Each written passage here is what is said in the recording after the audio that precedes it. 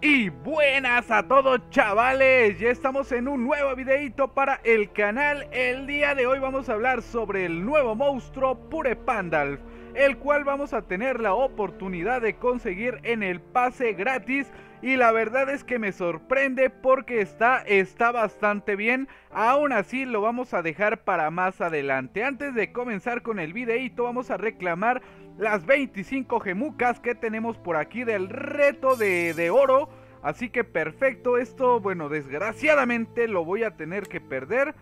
Y lo que vamos a hacer es alejar la cámara un poco. Pero bueno, antes de comenzar con todo el video, recordar aquí tenemos al Chovy bailando. Hay que suscribirse al canal, activar la campanita de notificaciones. Además de todo esto, recuerden, recuerden que estamos haciendo directos todos los días miércoles y jueves para que se puedan dar una vueltita por ahí. Así que nada, pues vamos a ver, vamos a ver, vamos a entrar aquí al Mostagram porque ya lo tenemos en el juego. Ojalá, ojalá no le mueva nada al Pure Pandal porque está bastante fuerte. Hay que subirlo de rango, sí, pero es una Elvira 2.0. A ver, ¿dónde estás, Pure Pandal?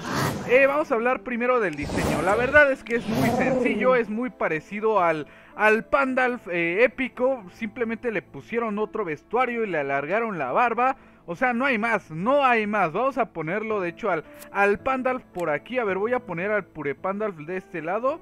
Y a ver, volvemos a entrar aquí al Mostagram. Ponemos épicos. Y aquí tenemos a Pandalf. Vean, es que es muy, muy parecido. Pandalf simplemente le cambiaron un poquito el báculo que tiene. Le pusieron como una gema en medio. Le pusieron en, el, en la otra mano, bueno, en la otra mano no tiene nada. Pero es que le cambiaron el vestuario. Literalmente lo que hicieron fue sacar un skin del Pandalf. O, sea, eh, fue lo único que hicieron. Pero a ver, ya, de ¿por qué nos estás diciendo que estaba muy fuerte y todo eso? Bueno, vamos a ver esto muy importante. Antes de, de empezar con todo esto, también quiero entrar aquí al cazarrecompensas.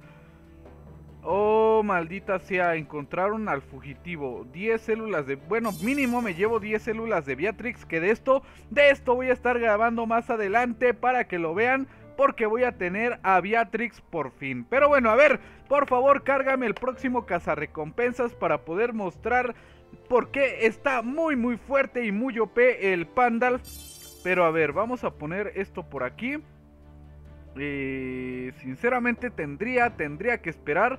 Pero bueno, voy a, voy a reclamar algunas recompensas. Tendría que esperar a que salieran más jugadores a esto, que hicieran movimientos. Ok, aquí la regué totalmente porque es para abajo. No puede ser, no puede ser que ya se llevó la recompensa. ¿Es en serio? ¿Es en serio lo que me estás contando? Ah, me da mucho coraje, me da mucho coraje. A ver, yo me llevo la recompensa más pedorra que puede haber. Ah, no puede ser, no puede ser. Pero a ver, nos queda un movimiento más. Nos queda un movimiento más. Eh, ¿dónde, la, ¿Dónde nos la podemos jugar? Aquí. A ver, me la voy a jugar ahí. Me la voy a jugar ahí. Pues nada, fue un error. Al final todo salió mal. Pero tenemos al Pandalf. No tenemos al Pandalf. Que ahora sí vamos a hablar de él. Está bastante fuerte. Eh, su status caster que tiene es una Elvira, como les digo, 2.0, ya que a nivel 150 obtenemos evasión de área. Así como le escuchan lo que tiene Elvira, lo va a tener este monstruo. La desventaja es que hay que subirlo a nivel 150 para poder tener este status caster. La ventaja... La ventaja es que es del pase de leyenda gratis, no lo vamos a tener que comprar, aunque también sinceramente es una desventaja si lo veo por ahí, porque a nivel 100, bueno, comprando el pase me lo trae a nivel 130. Y así solamente me lo trae a nivel 100. Es que... Ah, es un equilibrio, yo creo que está bien que lo den gratis porque es un monstruo fuertísimo. Créanme, créanme que si lo pueden ustedes llevar lo más rápido posible a este momento a tener la evasión de área, va a ser una total locura. Yo estoy utilizando este equipo el equipo cochinote, como le digo yo, es Elvira, Hammer Grow y Spectra. Aquí la verdad es que Spectra lo que provoca es la evasión de área. Digo, perdón, eh, Elvira eh, lo que provoca es la evasión de área. Y muchas veces la IA, la computadora, es tonta. Y como tiene la evasión, aunque el enemigo tenga perforación, recarga. Y eso ayuda bastante. Y créanme, créanme que el Pandalf para muchos de los combos va a funcionar bastante bien. Ahora vamos a ver los ataques que tiene, que ya aquí nos enrollamos, es que ya, ya con el diseño, ya con el rasgo, ya dijiste que está bastante fuerte, pero todavía no me has enseñado los ataques. No se preocupen, aquí los tenemos, el primero es viajero de portal, el cual hace daño moderado a un enemigo y bloquea 50% de daño recibido. Un ataque bastante buenardo, la verdad bastante buenardo. Principalmente para poder aguantar los golpes. Y ya que estamos aquí, también voy a intentar pasarme la mazmorrita de gemas que tengo por acá pendiente. Y nada, pues le damos ahí. El siguiente ataque es ayudante de los débiles, el cual es un ataque individual que aplica inmunidad ante las torturas a los aliados. Así que perfecto. Esto, la verdad, en ciertos casos te va a servir bastante.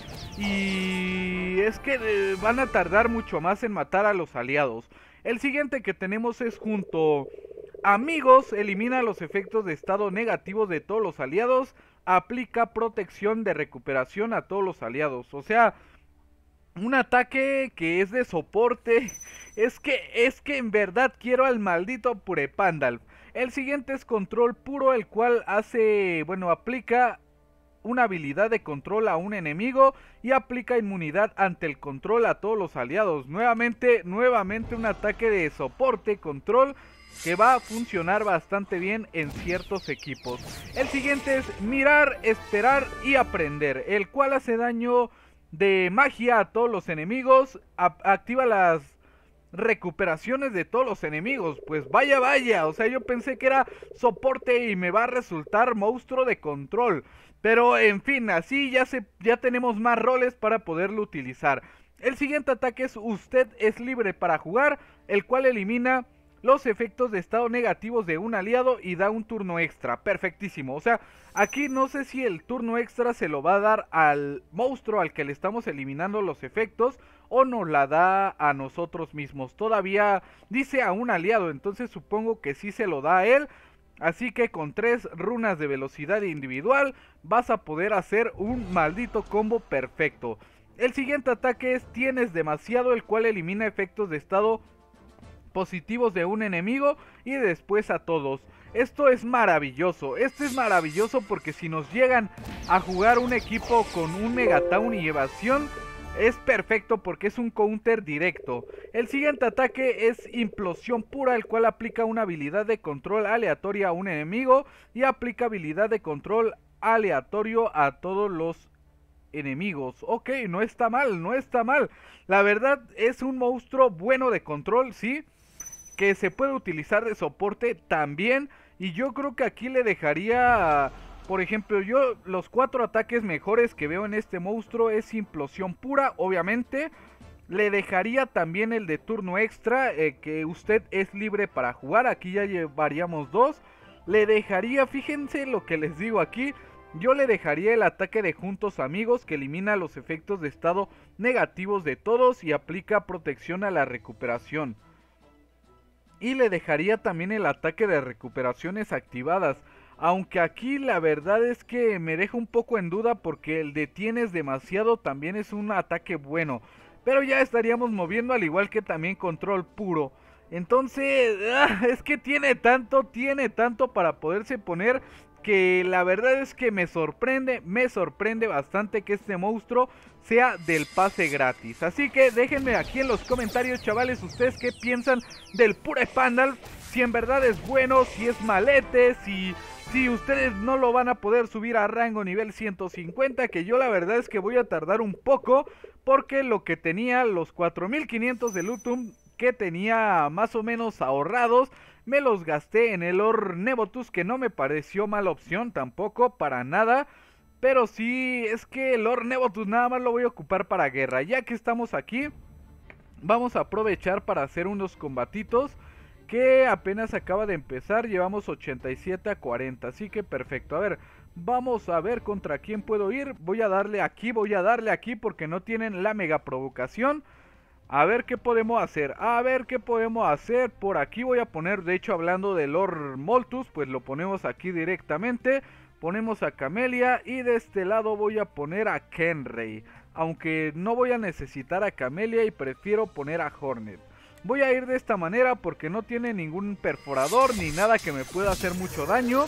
Así que perfecto. Así, bueno, a ver, mucho daño. Mucho daño sí me pueden hacer, pero no me iban a matar de un golpe, así que nos viene bastante bien. Ahora lo que voy a hacer es esto, aplicarme doble daño y evasión. De este lado lo que voy a tratar de hacer es esto, para poder aguantar lo más que se pueda. Lo más que se puede, es en serio, maldita sea. Maldito Brutalizer con su runa de nivel 10. Pues no me jodas, eh. No me jodas. Pero bueno, a ver, espero que... Maldita sea, güey. Maldita sea, me voy a llevar me voy a llevar solamente una ficha. No puede ser, güey. No puede ser.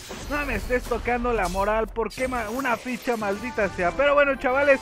Pues nada, yo voy a dejar este video por aquí. Espero les haya gustado. Espero se sigan suscribiendo al canal. Y nos vemos hasta la próxima, chavalotes. Bye, bye.